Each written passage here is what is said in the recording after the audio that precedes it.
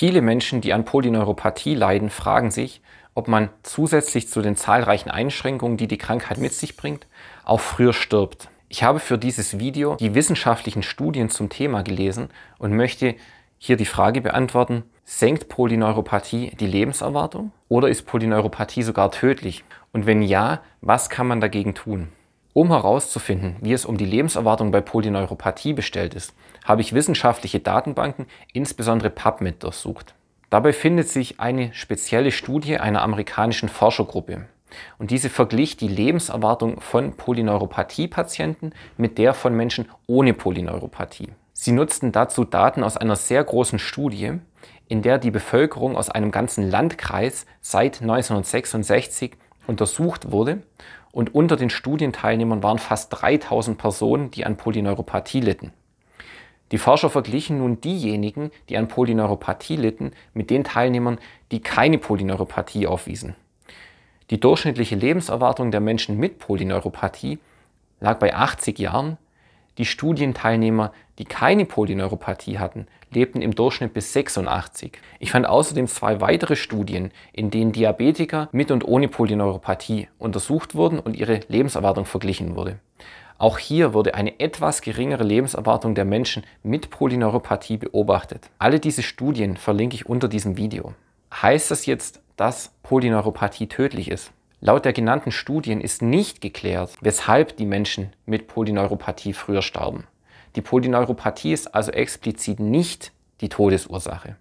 Denn dass man mit Polyneuropathie früher stirbt, heißt nicht, dass man an Polyneuropathie stirbt. Die Nervenschäden bei Polyneuropathie führen nämlich in den seltensten Fällen zum Tod, denn sie betreffen meist keine lebenswichtigen Organe. Die Krankheit schränkt meist die Nervenfunktion in der Peripherie des Körpers ein. Das heißt, die Problematik betrifft zunächst die Hände oder die Füße.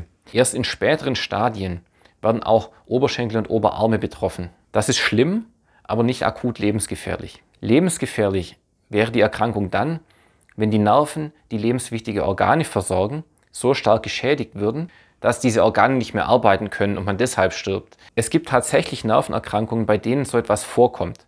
Beispielsweise kann es passieren, dass die Nerven, die die Atemmuskulatur oder das Herz versorgen, nicht mehr funktionieren und diese Organe deshalb nicht mehr arbeiten können. Es gibt besondere Formen der Polyneuropathie, bei denen es so weit kommen kann. Beispielsweise bei der kardialen autonomen Neuropathie oder beim Guillain-Barré-Syndrom.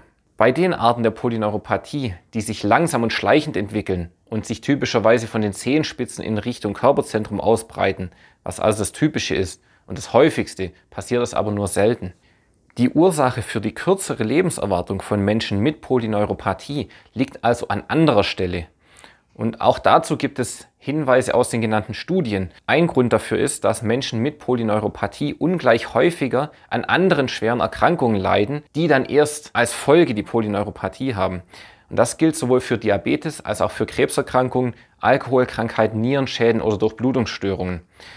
Diese Krankheiten alleine senken schon die Lebenserwartung. Die statistisch niedrigere Lebenserwartung von Menschen mit Polyneuropathie im Vergleich zu gesunden rührt also eher von den schweren Erkrankungen, die die Polyneuropathie zur Folge haben. Es gibt allerdings auch noch weitere Gründe für die verkürzte Lebenserwartung, auf die man als Patient sogar Einfluss nehmen kann. Die Menschen mit Polyneuropathie hatten eine wesentlich erhöhte Gefahr zu stürzen und waren viel häufiger in ihrer Mobilität eingeschränkt. Sie hatten außerdem häufiger Probleme damit, alleine ihren Alltag zu bewältigen und häufiger Störungen der Durchblutung und Herz- sowie Lungenerkrankungen. Mit anderen Worten, sie waren körperlich schwach und litten an Krankheiten, die mit Bewegungsmangel zusammenhängen. Das gibt uns einen Ansatzpunkt, um die Lebenserwartung bei Polyneuropathie zu erhöhen. Denn als Therapeut reicht es mir jetzt natürlich nicht aus, nur zu wissen, dass man mit Polyneuropathie früher stirbt. Ich will außerdem wissen, was man dagegen tun kann. Und ich betrachte die Frage jetzt entsprechend meiner Ausbildung aus sportwissenschaftlicher Sicht.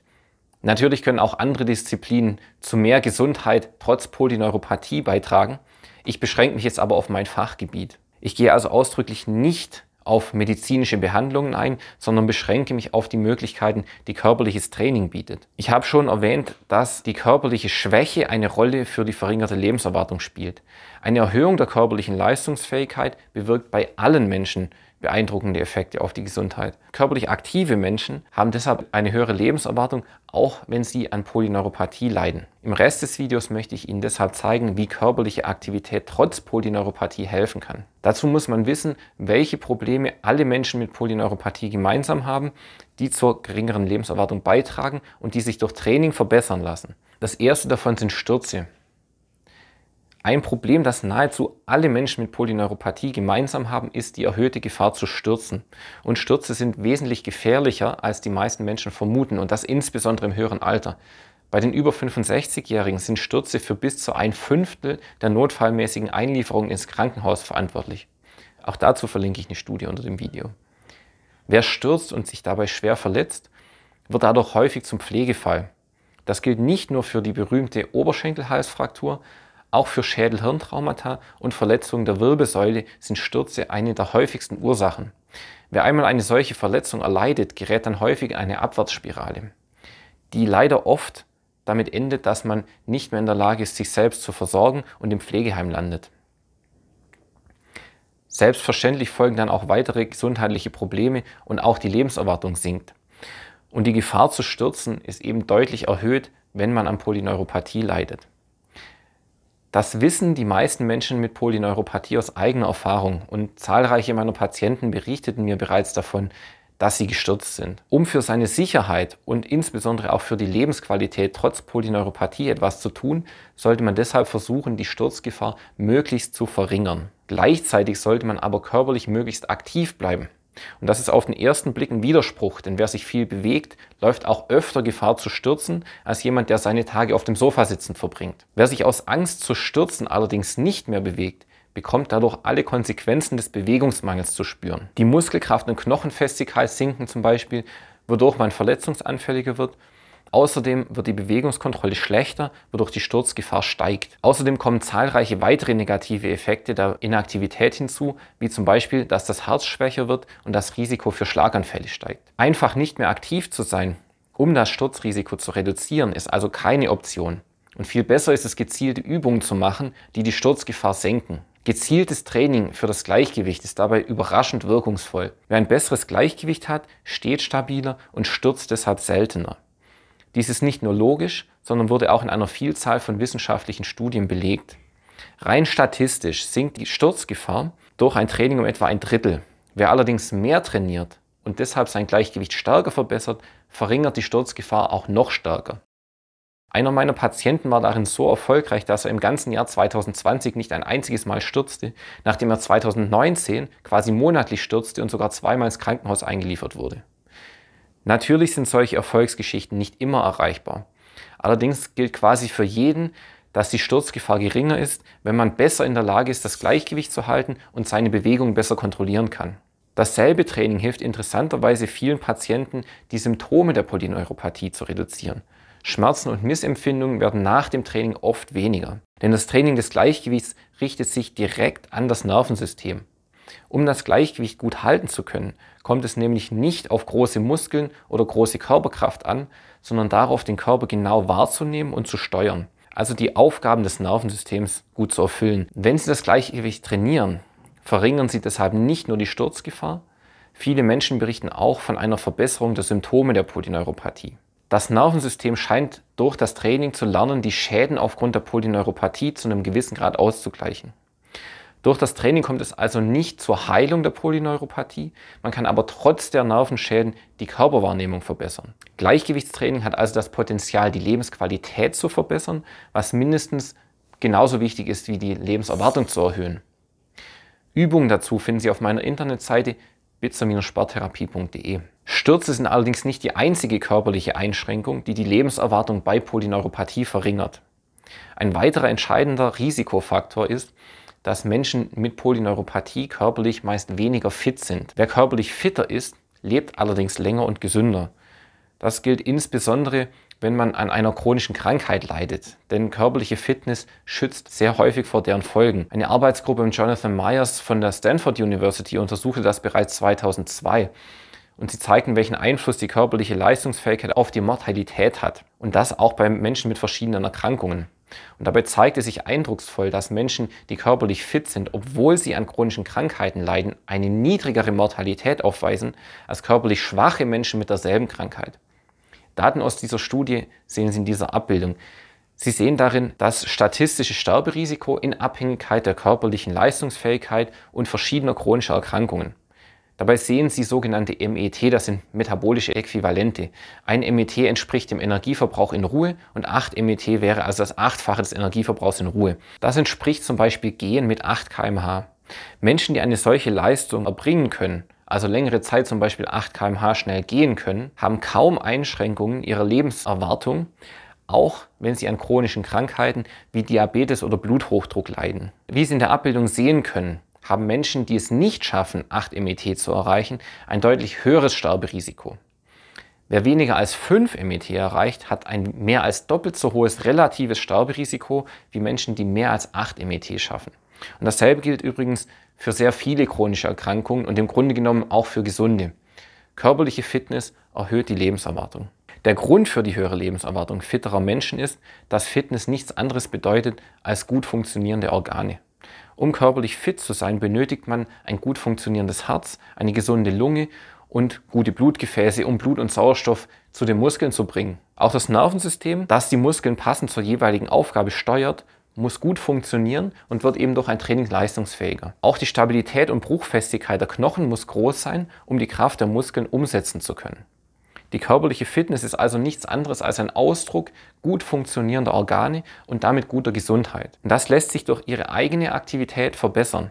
Wer trainiert und dadurch fitter, stärker und leistungsfähiger wird, dessen Organe verbessern auch ihre Funktion. Wer ein Training beginnt und zum Beispiel nach einem Monat leistungsfähiger ist als zuvor, der hat ein besser funktionierendes Herz, besser funktionierende Muskeln und eine besser funktionierende Durchblutung. Deshalb sinkt das Risiko für sehr viele Erkrankungen, wenn man körperlich trainiert und fitter wird. Das gilt auch für Erkrankungen, an die man zunächst nicht gedacht hätte. So funktioniert bei fitten Menschen auch das Immunsystem besser, was dazu führt, dass Infektionen einen leichteren Verlauf haben. Sehr fitte Menschen erkranken zum Beispiel viel seltener an Lungenentzündungen, denn ihr Immunsystem ist in der Lage, die Infektion in den Atemwegen zu bekämpfen, bevor sie sich zu einer gefährlichen Erkrankung auswachsen können. Und selbst wenn man an einer Lungenentzündung erkrankt, haben fitte Menschen mehr Reserven, denn ihre Lunge war von vornherein leistungsfähiger und ist deshalb in der Lage, genügend Sauerstoff aufzunehmen, um den Körper zu versorgen, auch wenn sie aufgrund der Erkrankung nicht mehr ganz so gut funktioniert. Die Sauerstoffaufnahmefähigkeit ist übrigens das in der Wissenschaft gebräuchlichste Maß für die Ausdauer. Je besser ihre Ausdauer, desto besser ist also ihre Sauerstoffaufnahme, desto besser ist die Funktion ihrer Lunge und übrigens auch des Herzens und der Blutgefäße, die den Sauerstoff aus der Lunge in den Körper transportieren. Wir sehen also, dass fitte Menschen auch eine höhere Lebenserwartung haben. Man kann also damit rechnen, dass eine bessere körperliche Fitness die Lebenserwartung auch bei Polyneuropathie verbessert. Nun ist es natürlich schwerer, sich fit zu halten, wenn man an Polyneuropathie leidet. Denn wenn man bei jedem Schritt Schmerzen hat oder Probleme, das Gleichgewicht zu halten, kann man natürlich nicht so einfach trainieren wie jemand ohne Einschränkungen.